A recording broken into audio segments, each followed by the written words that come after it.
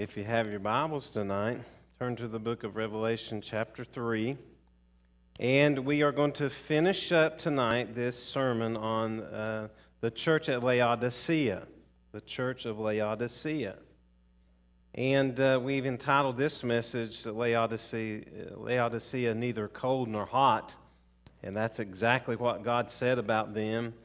And uh, we're going to talk about that tonight. Let's all stand and we're going to read together out of Revelation chapter 3. And uh, we are going to look there from verses 14 through 18. And he says there, And unto the angel of the church of the Laodiceans write, These things saith the Amen, the faithful and true witness, the beginning of the creation of God. I know thy works, that thou art neither cold nor hot. I would thou wert cold or hot. So then, because thou art lukewarm, and neither cold nor hot, I will spew thee out of my mouth. Because thou sayest, I am rich and increase with goods, and have need of nothing, and knowest not that thou art wretched, and miserable, and poor, and blind, and naked. I counsel thee to buy me gold, tried in the fire, that thou mayest be rich, and white raiment, that thou mayest be clothed and that the shame of thy nakedness do not appear. And anoint thy eyes with eye salve, that thou mayest see. Let's thank the Lord for the reading of his word. Father, thank you for your precious word tonight, and your word is precious. Lord, how would we ever live without it? How could we get by one day without your word? Now, Father, help us as we start to study your word tonight and preach your word. Pray, Lord, that we'll open our heart up to you, that we'll never be the same because we've heard your word. Now, Father, help us as we leave this place to say within our hearts, surely it's been good to be in the house of God. In your precious, sweet name, we pray these things. In the name of Jesus and all God's people said. Now, tell somebody you love them there before you sit down.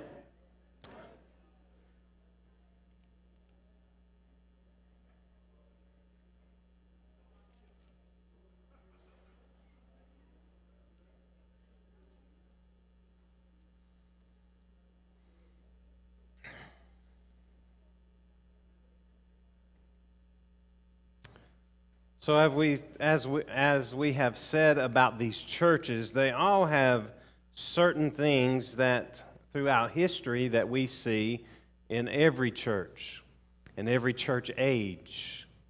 And uh, for the church of Ephesus, we saw that it had lost its first love.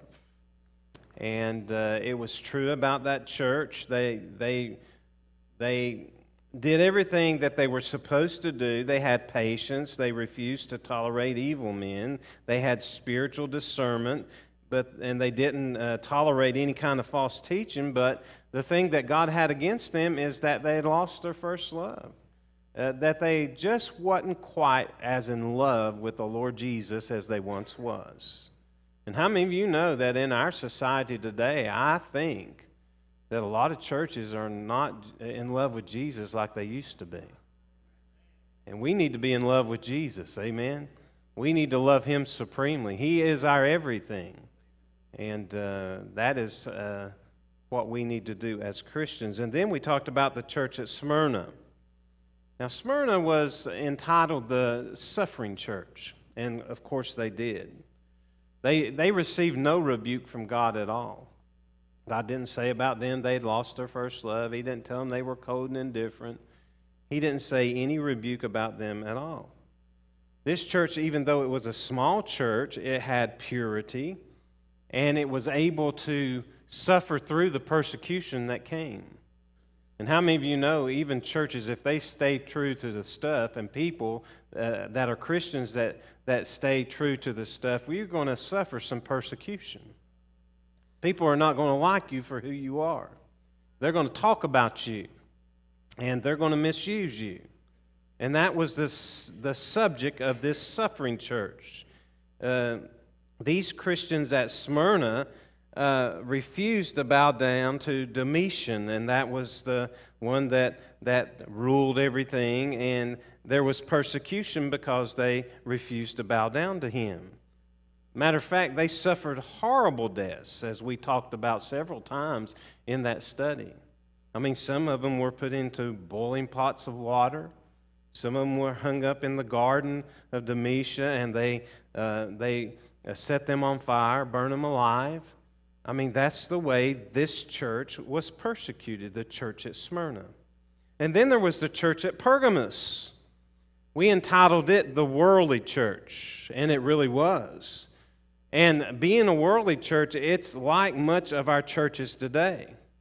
They have failed to put Jesus Christ number one in the church and made themselves number one and made their programs number one. And worldliness have come into the pew and they haven't done anything about it. They just allowed it to go on. And the church at Pergamum was symbolic of churches that throughout history that has compromised with this old world. And a lot of Christians are compromising with this old world. Pergamos was wicked, though. Matter of fact, it was so wicked, wicked that God called it Satan's seat. Now, that didn't mean that Satan's uh, dwelling place was there, but it meant like they were so wicked that you would think Satan was right there with them. And I've seen some people like that, haven't you? That are so wicked that you would think that Satan just take, had taken over where they were. And uh, the teaching there was the teaching of Balaam. And uh, Balaam taught that everything needed to be sacrificed to idols. They didn't care anything about Jesus, didn't care anything about God. They put all kinds of idols and they worshiped idols. And, and God said it was just like being at Satan's seat, being in Satan's house. It was so wicked and without God. They had pagan orgies. They had all these things going on. The Nicolaitans were there. The fourth church we talked about was Thyatira. And this is the church that God said it's a church that tolerated sin. You remember we talked about that woman there, Jezebel. Now it wasn't the Jezebel in the Bible, but it was a it was just a figure of speech talking about a woman that was a Jezebel. She was there teaching false, uh, false things in the church, and, and they went headlong into the depths of satanic uh, deception, and that's what that church was all about. They tolerated sin. And then the fifth church we talked about was Sardis. He called it a dead church. He said, they, There's no life there. He said, I can't find any life about them at all. Now, think about that. How would you like God to say that about us? I find no life about them. They have no life. That was Sardis. And then Philadelphia. If you remember, it was the last church we studied, and Philadelphia was that faithful, faithful church. God didn't have anything bad to say about them either. He said they're just faithful. In the midst of tribulation, in the midst of persecution, in the midst of all they went through, God said they were faithful. And then tonight, this church, the church of Laodicea. We talked about the person of this church as we did in all the other uh, churches that we've studied. Who's the person? Who's, who's, this being, uh, who's this being written by? Who's telling us these things? Well, we know that John pinned them down, but we also know that God was given the message. How many of you know tonight you can trust God? When God gives you a message, you can trust Him. So here's the message. He says in verse 14, These things saith the Amen, the faithful and true witness, the beginning of the creation of God. God gives himself some names here. The first thing he says that he wants John to pin down about him is that he is the Amen. We talked about this last week. What is the Amen? Well, the Amen here, when he's saying this, it's a Hebrew word and it means truth. So, in other words, God is saying, first of all, I want you to know I'm the truth. I'm the Amen. If you want to know about things, if you want to know how things are going to be, just look at me because I'm going to tell you the truth. That's what Jesus says. He has never let you down, He'll always tell you the truth. The problem with this message and the problem with people that are Christians is they do not read the Bible enough to know the truth. But God wants you to know the truth, and He is the truth. That's what He says. It's a Hebrew word meaning truth. It means firm, it means fixed, it means He's unchangeable. You can never change Him. ever. He's always going to be the same. He was the same 60 years ago for my mom and dad when they were in church and, and going through their life. He's the same today. He's the same. He never changes. The next thing he said about identifying himself, he said this He says, I'm the faithful and true witness. Now, uh, he's completely trustworthy, we know that, but he's perfectly accurate in everything. He's accurate. He's accurate in your life, accurate in what he tells you to do. His testimony is totally reliable. When you read the Word of God and you hear about Jesus Christ, it's reliable, it's totally accurate. The Bible is accurate. How many understand that? There, there's no falseness in it. It's accurate, and that's what he wants you to know about himself. I'm true, I'm accurate. And, and, and then he goes on to say he's completely trustworthy. In John 14, 6, he says it like this He said unto them, I am the way, the truth, and the life. No man cometh unto the Father but by me. If you want to see God, go through me. Jesus. That's what he says. The third thing he said about himself, he says, I'm the beginning of the creation of God. He wants you to know that he's always been. Everything that is on this earth was made by Him, including you. it wasn't evolution, He created you.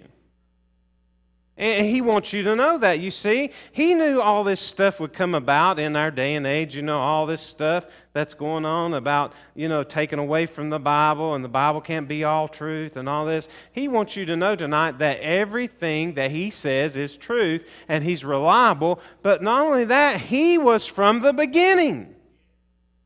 He's always been. Listen to what he says here in John 1 3. Uh, he, you see, he, beginning means through his power everything was created. Listen to John 1 3. All things were made by him, and without him was not anything made. Read that with me. That was made. How many believe that tonight? Say amen. That's what he says about himself. And he wants you to understand that and know that. The second thing we looked at last week was the problem. Now, there's always a problem with this church. And he says this in verses 15 through 17. I know thy works that thou art neither cold nor hot. I would thou wert cold or hot. So then, because thou art lukewarm and neither cold nor hot, I will spew thee out of my mouth, because thou sayest, I am rich and increase with goods and have need of nothing. And knowest not that thou art wretched, miserable, poor, blind, and naked. That's what God said. He said, Now this is coming to the one from the one that's all truth, that's accurate in all of his statements, and the one that was from the beginning. I'm telling the church this. It's coming from him. Not John, him. John's pinning it down. But Jesus is saying it. You see, he talks about some things here that he wants them to focus on. The first thing he tells them that they need to focus on in this church is their deeds. You see, deeds always reveal people's true spiritual state. If you're lazy, there's something wrong with your spiritual state. Now, don't look at me like that. There's something wrong with your spiritual state if you don't want to do the things God wants you to do. And they're indicated here uh, with the Lord's words in Matthew 7 16 when he says this. He says, You'll know my people, and now I'm adding to it a little bit, by their works, by what they do, by what they accomplish in their life, by their fruits. That's what he says. And we looked over in Galatians over there. I'm going to read that to you. Here's the fruits. I want to read it to you one more time. How do you know people that are saved? Well, God says you know them by their fruits. So, what are the fruits? Uh, Galatians 5:22 through 23. But the fruit of the Spirit is what? Read that. And joy, peace, long suffering, gentleness, goodness, faith, meekness, temperance. Against such there is no law. God says, here's the way you know if they're my children, if they have these things. Now, sometimes it's hard for us to have all those things at one time. Amen? You know what I'm talking about. But there ought to be a consistency about your Christian life. There ought to be some joy in your Christian life. If you walk around all the time with your chin down to the floor, there's something wrong. Amen. You ought to be kind.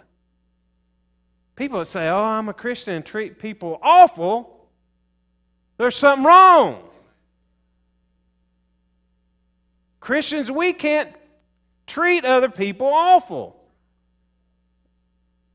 Because God says the fruit of the Spirit is is kindness, is gentleness, that, that we're gentle with people, that, that we have goodness in us, that we have peace in us and long suffering in us, and, and we have faith.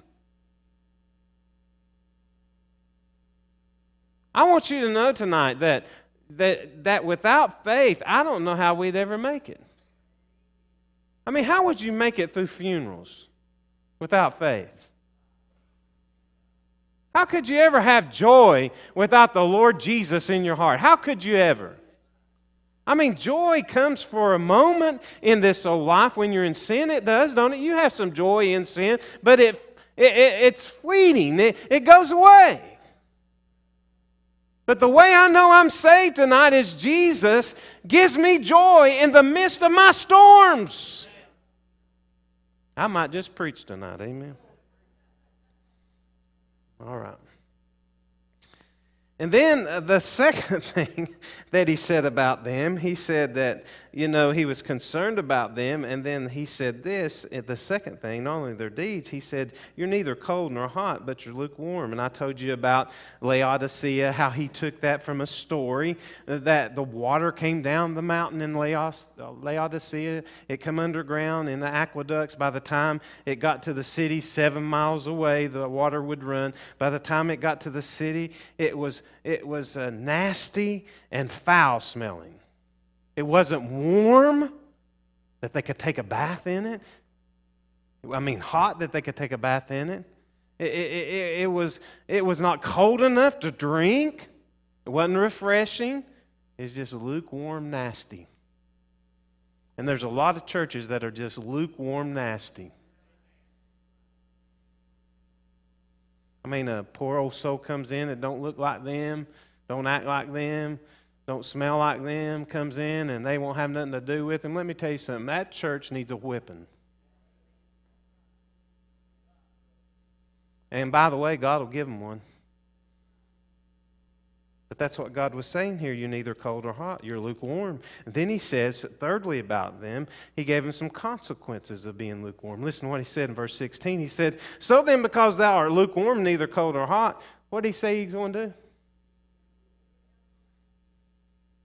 One preacher put it this way. He says, Some churches make the Lord weep, some make him, make him angry. The Laodicean church made him sick. Sick. I can't imagine making the Lord sick. But it did. You know what hot people are spiritually? They're, they're spiritually alive. You can see it, you can feel it when you're around them. They love Jesus and they talk about Jesus, not just in the bad times, not just when they need it. You know, they, they need to get a little Bible in them, you know, or a little. They're that way. They're just, they're just, they're, they just love Jesus. And they want to tell other people about Jesus. And they want people around them that love Jesus.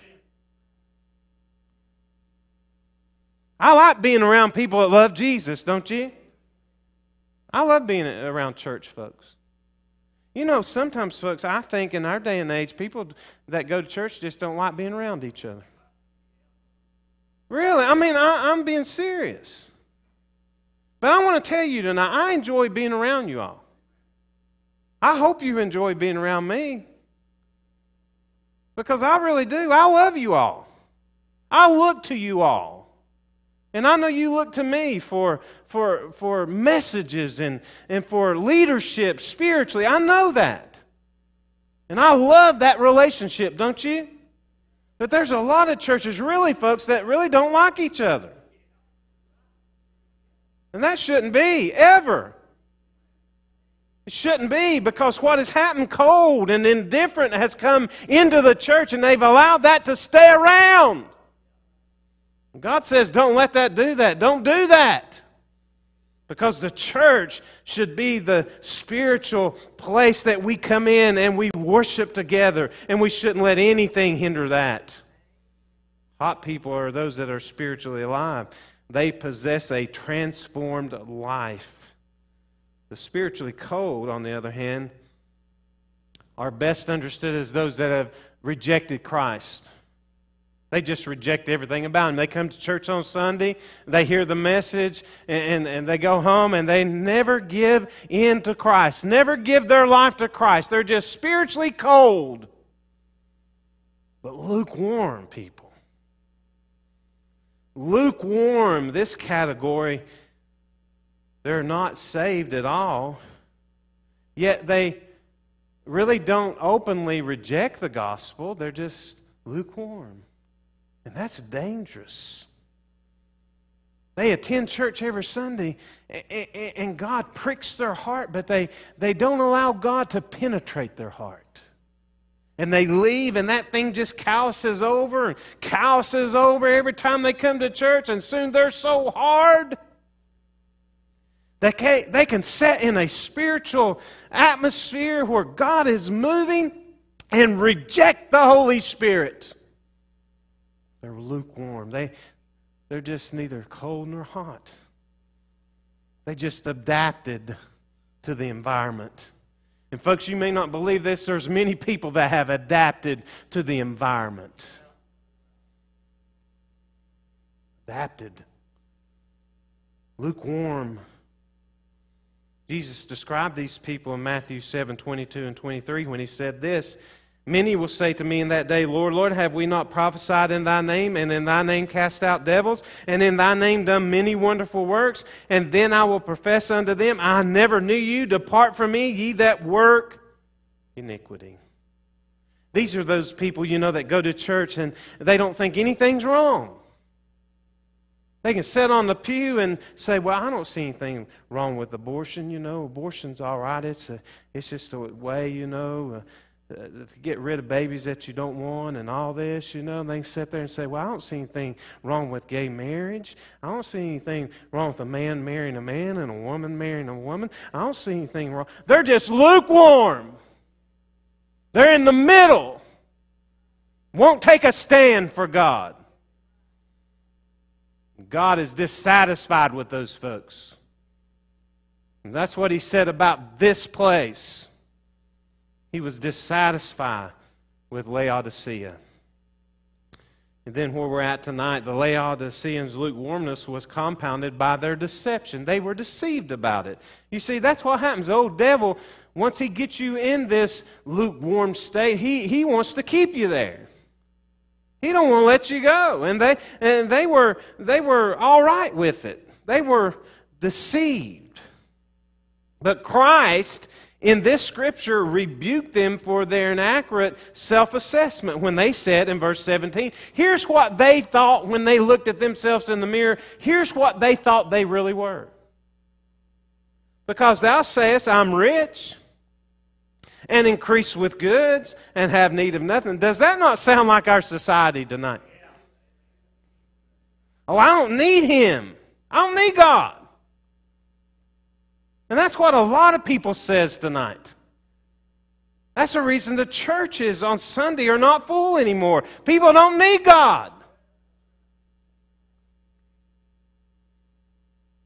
They don't need Him. Because they think within themselves, I'm rich, I'm increased with goods, I have everything I need, I have need of nothing. I, and notice that, and God said, Know you not that you are wretched, and you're miserable, and poor, and you're blind, and you're naked. That's what he said.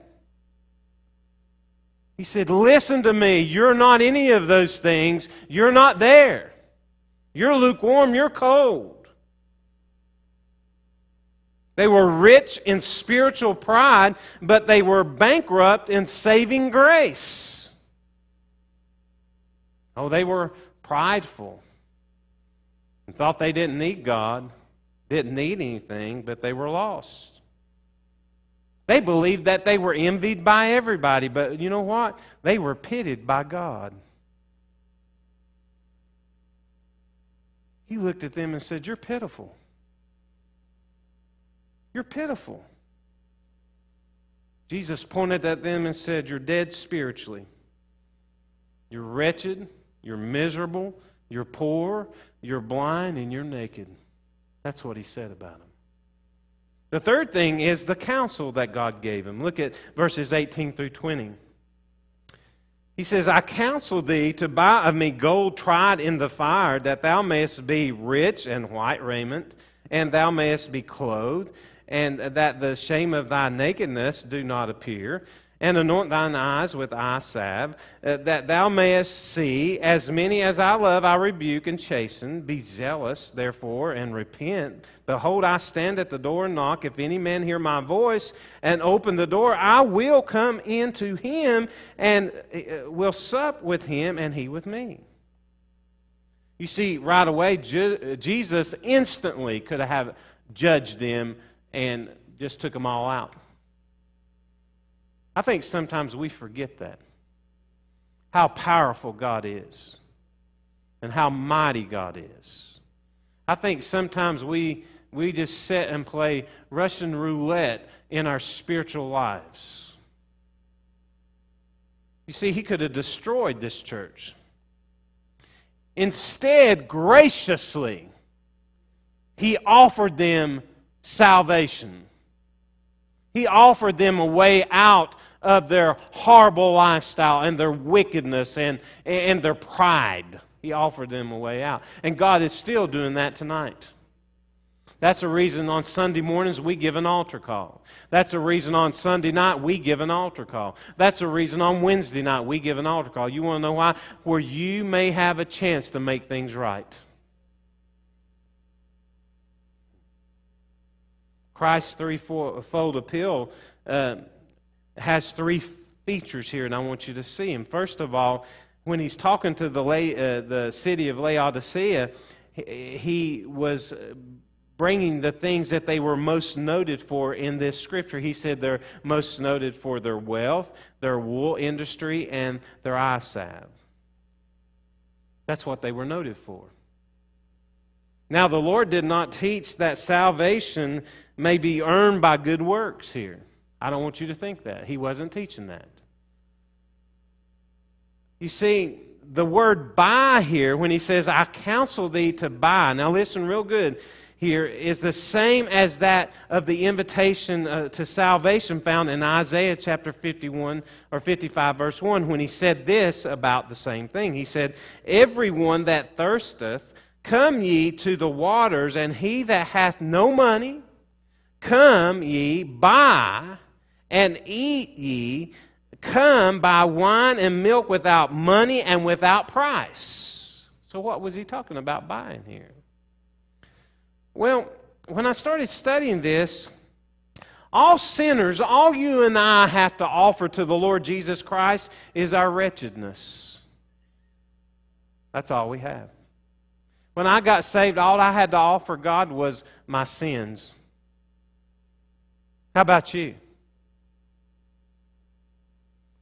You remember the story of uh, Homer. You, you remember these uh, stories and, and, or Gomer. I mean, I said Homer. Gomer. You remember the story where she they they were up on the, the shopping block, on the, the trade block, on the uh, you know servant block, and they sold them. That's kind of the way we were when we were lost. We were in sin and we were lost, and we needed to be bought back. Guess who bought us? Jesus bought us. He bought us with what? His precious blood. And we need to always remember that and never forget that. That we didn't buy our salvation, He bought us. He bought us with His precious blood. You see, all we have to offer is our wretchedness, our lost condition. And in exchange for that, Christ offers us righteousness. Christ ad- advised the Laodiceans to buy from him three things. Listen to what he asked them to buy. Now, everybody with me say amen. I'm going to quit after this because you're about to go to sleep on me. Say amen. The first thing that he told them to buy was gold refined by fire. Look at verse 18 gold tried in the fire, that thou mayest be rich. You see, they needed gold, they needed riches that was free from impurities. And this gold represents the purity and the richness of salvation. How many of you know that that salvation is pure, salvation is rich. It, it costs more than we could ever come out to, to pay for it. And that's what God was show, showing to these Laodiceans. He was telling them that it's pure, it's a true salvation. It will bring you a relationship with a true living God if you will allow it to. So he said, You need to buy gold tried in the fire. The second thing he told them, he advised them to buy white raiment. Now, he, he's saying these things because they are used to these things. This is what they do. They make clothes, wool. He says there in verse 18, white raiment, that thou mayest be clothed, and that the shame of thy nakedness do, do not appear. You see, as I said, Laodiceans uh, were famous for their wool, which symbolized here, God was symbolizing it as being filthy and sinful, the sinful garments of sin, and unregenerate clothes. That they were lost. That's what he was saying. But then he's, in contrast, he says, I'll redeem you with white garments. I'll take your sin, clean you up, and give you purity and give you a white garment, make you pure. I know you don't feel pure tonight, but listen to me. Jesus saved you. Don't ever belittle salvation. What Jesus did in your heart, how he cleansed you and made you whole. Hallelujah. Aren't you glad tonight that you've been cleansed and made whole through Jesus Christ? He said, I'll take your old garments and I'll give you white garments, the whiteness of purity and, and righteousness and genuine faith. That's what I'll do for you if you allow me to, he was telling the Laodiceans. The third thing he offered them was eye salve. Now you say, what does that have to do with anything? Verse 18 says, Anoint thine eyes with eye salve uh, that thou mayest see. You see, the Laodiceans uh, prided themselves on their, um, their superiority in spiritual knowledge. They thought they saw, they thought they really knew. But they didn't. They were blind. This old world thinks they really know. Oh, preacher, don't you know there's many ways to God? Don't you know uh, Muhammad's on this side and this one's on this side and there's many ways? God says, no, there's only one way. And that's the way they were. They were blinded spiritually. God says, let me open your eyes up. Aren't you glad tonight that Jesus Christ opened your eyes up? Christ loves the unredeemed. He loves people that are lost. And he rebukes them and he wants to reprove them here. He wants to expose their sin here, and that's what he's doing. And this blindness represents a lack of understanding and knowledge of Jesus Christ. Unregenerate people. The Laodiceans desperately needed Christ to open their eyes that they could get out of the darkness. And one way God said they could get out of the darkness is verse 19 when he said, As many as I love, I rebuke and chasten. We need to understand tonight when God convicts us and chastens us, it's because he loves us. It's because he's trying to bring us to him. We're going away, we're getting farther and farther away, and he's trying to bring us closer. So he chastens us, he whips us. Thank God for his whippings. Because we need them. I'm thankful that He's a Father that loves me enough to, to whip me, to bring me back and convict me. He wanted these Laodiceans to be saved. He said, Here's the way you be saved. Here's the way you come and get all these things I've offered you, all, all of these different things that I want you to buy. Here's the way you get it. He said in verse 19, Be zealous and repent. Repent. Folks, you cannot get to God unless you repent. Repent of your sins. Just because daddy brought you to church and mama brought you to church and daddy was a preacher and mama taught a Sunday school class, that doesn't get you to God. Repent.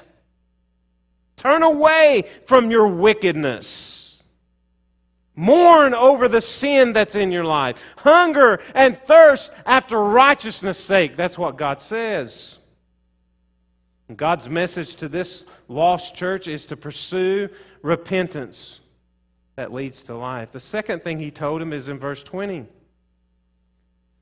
He says, Behold, I stand at the door and knock. If any man hear my voice and open the door, I will come into him and will sup with him and he with me. Jesus was outside of this apostate church, and he wanted in. Well, that's a sad picture, isn't it? That's where he was. He was outside of it. They wouldn't even let him in. That word sup there means I want to come in and dine with you. I want to come in and have fellowship with you. That's what Jesus did with you when you got saved. You had to open up. You had to give him your heart. And when you did, He came in to dine with you, to sup with you, to eat with, to have fellowship with you. And by the way, He's still having fellowship with you if you're saved. Hmm. You gave Him your heart. And that's what God is saying here. That's what He's telling these people at Laodicea. I want to dine. I want to have fellowship and communion, but they shut Him out. There's a lot of people shutting out God in their lives tonight. A lot of people don't want to have fellowship with the Lord. But last but not least, the promise that God gives them in Revelation 3 21 22. To him that overcometh, overcometh will I grant to sit with me in my throne, even as I also overcame and am set down with my Father in his throne. He that hath an ear, let him hear what the Spirit saith unto the churches. To enjoy fellowship with the Lord Jesus Christ and his kingdom and throughout all of eternity is a blessing beyond comprehension. When you got more people over there than you got here, you know what I'm saying right there. One of these days, we're all going to be together. No more death, no more pain, no more suffering. Can you just comprehend that tonight?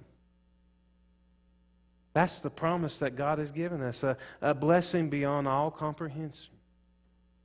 I wrote down just a few things about overcomers. That's us. Our privileges and promises that God has given us through the Bible, through Revelation. One of them was that one of these days we'll eat from the tree of life. One of the promises we'll receive a crown of life. We'll have protection from the second death. We don't have to go to hell. How many can say amen right there? God promised that. A white stone with a new name written on it. I don't know what your name's going to be, only He does. White garments symbolizing purity, holiness, the honor of having Christ confess our names before God the Father and the angels in heaven. This is my child. Boy, isn't that going to be something? I believe some of you are going to be shouting. And I'm going to be there laughing at you because I'm going to say, I told you you'd shout. To be made a pillar in God's temple. And to have written on them the name of God. We're going to have the name of God on us one day. We're going to be His forevermore. Boy, isn't that something? this letter to the Laodiceans closes with Christ's exhortation when he said this He that hath an ear, let him hear what the Spirit saith unto the churches. That's the seventh church. All of them we've been through. You know about the seven churches now, right? You know they represent history. That some of our churches will have some of these things. But we know, as I said last week, this Laodicean church, it seems to me that we have a lot of those things going on in the church age that we're in. Let's bow our head and thank the Lord. Lord, we love you tonight. And we thank you for your precious word. Your word is so precious.